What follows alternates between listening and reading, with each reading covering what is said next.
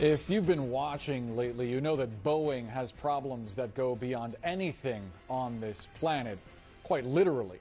While its CEO was answering tough questions on Capitol Hill yesterday, its engineers were grappling with issues dealing with their Starliner spacecraft. Since they launched on June 5th in its first crewed test flight, astronauts have navigated several issues, including malfunctioning thrusters and helium leaks, and it's turned their week long mission into a three week stay on the International Space Station. Retired NASA astronaut Leroy Chiao joins us now. Leroy, help us understand these problems and, and how much of a concern this is. Well, you're right. As you pointed out, Boeing has had a lot of problems, uh, not only on the commercial airplane side, but also on the space side. Uh, Starliner way behind the original schedule, a lot of development problems. Finally got off the ground. Butch and Suni are aboard the station but not before encountering several minor difficulties, helium leaks, thruster failures. Uh, you know, these are kind of medium to light problems because it doesn't really threaten the mission at this point. It's just a little bit concerning that uh, we're having these, you know, numerous small glitches.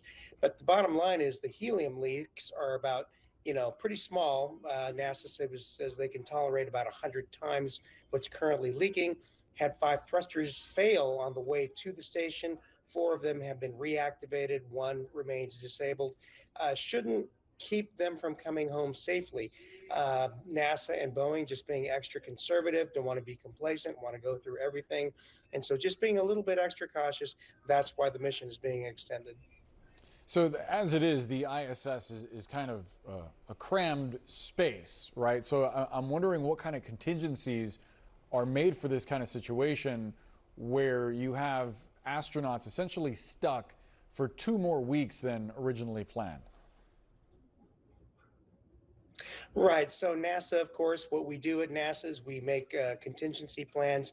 We plan for redundancies, backups, and so you can bet that the folks at NASA have been looking at well, in the very worst case that we decide that Starliner cannot come back with Butch and Suni, what can we do? Well, of course, Butch and Suni can safe haven at the ISS for, you know, well, basically a number of months at least. And so uh, that would be time to get a replacement spacecraft up, probably a, a SpaceX Dragon spacecraft. Then NASA would have to rejumble the uh, traffic model, but certainly a, a SpaceX uh, Dragon could be brought up to bring Butch and Suni home. So in the very worst case, that would be what would happen. But uh, you know, as I said, the problems the Starliner is experiencing are relatively minor.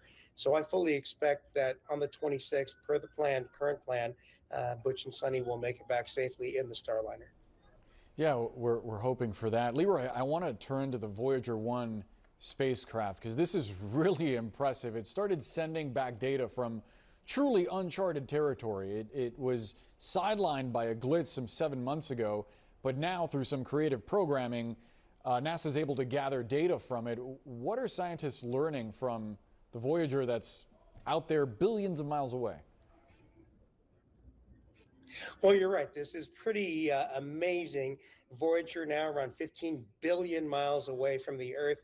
Uh, you know, it's it's uh, or 50 million, sorry, but it's it's pretty it's pretty incredible. This spacecraft was launched 47 million or I'm sorry, 47 years ago, and uh, here it's still sending back data, and it's made it to the heliopause, uh, which is you know the uh, extent of the uh, influence from our sun, and so it's sending back data from a place that no probe has ever been, and this is uh, basically beyond the reach of our solar system. You know, ventured outside, first uh, man-made object to do so, and so it's sending back data on its environment on you know what's going on out there pretty much in deep galactic space uh, really really impressive. Yeah whether billions or millions it's still really impressive. I mean five decades nearly that this thing has been out there. Leroy Chiao, always great to chat. Uh, good to, good to be with you always boris. Thanks. Thanks. When we come